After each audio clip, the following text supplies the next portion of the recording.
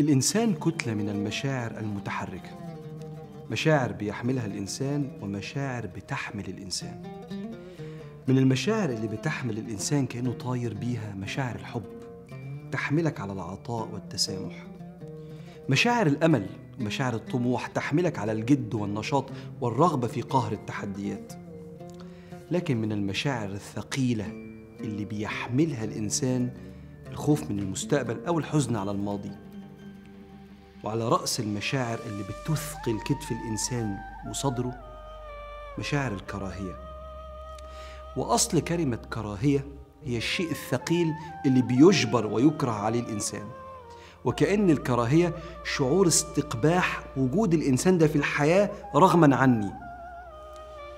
وبتصنف الكراهية من المشاعر التقيلة اللي بتسبب إحباط واكتئاب وبتدفع الإنسان لما يقدر للإيذاء والشماتة.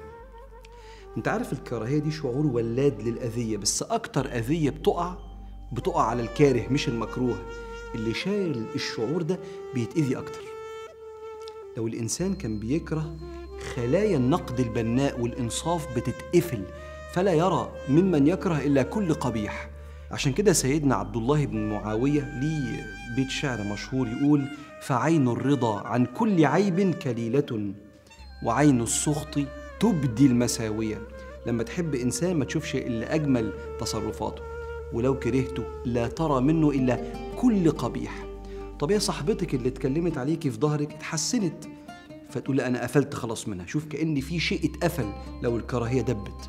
طب هو قال لك سلام عليكم بعد ما كنتوا متخاصمين لا يا عم ده قالها من وراء قلبه لا يرى إلا المساوئ. عشان كده سيدنا رسول الله عليه الصلاة والسلام نهى عن الكراهية بين الست والراجل فقال لا يفرك مؤمن مؤمنة يعني لا يبغض. لا يفرك مؤمن مؤمنة. إن كره منها خلقا رضي منها آخر.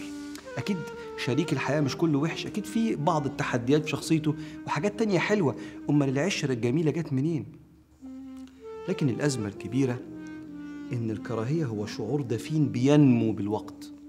ولو الإنسان ما قدرش يتخلص منه بالمواجهة عشان نتصافى أو العفو والتسامح لو قدر هيصبح شعور عملاق هيطردك في كل حتة لما تسمع أخبار عن الشخص اللي بتكرهه أو تشوفه أو تشوف أي حد يفكرك بيه وتحزن لو فرح.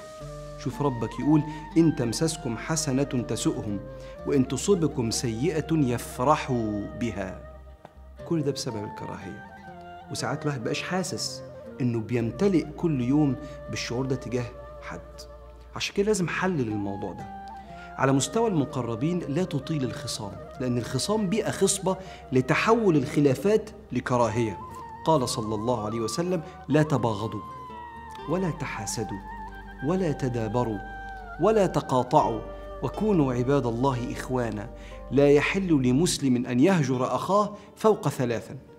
لو زاد عن ثلاثة أيام بيبدأ الإنسان علشان يفضل مخاصم يبدأ يفكر نفسه بذكريات وحشة عشان يفضل مخاصم. ده بينمي الكراهية.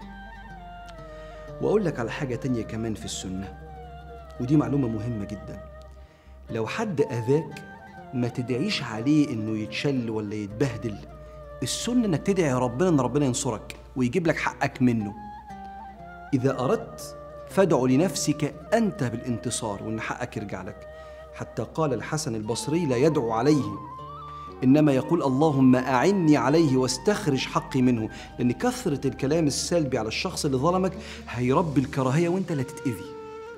وربنا يحب يجيب لك حقك وأنت ساكن مطمئن مش كل ما تشوفه لسه حقك مرجعش تشعر بغليل من جواك.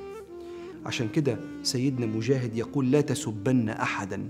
ولكن أحب لله بقلبك وأبغض لله بقلبك. ما تقعدش تسبه في الدعاء أو تسبه في الكلام من وراه. ده بينمي حاجات جواك أنت مش هتبقى مستقر. ادعي ربنا ده حقك. حقك. لو حد ظلمك خد منك فلوسك ولا أذاك في سمعتك ولا حاجة ادعي إن ربنا يجيب لك حقك. بس ما تدعيش عليه هو. ادعي لنفسك أنت برجوع حقك. يا رب عنا.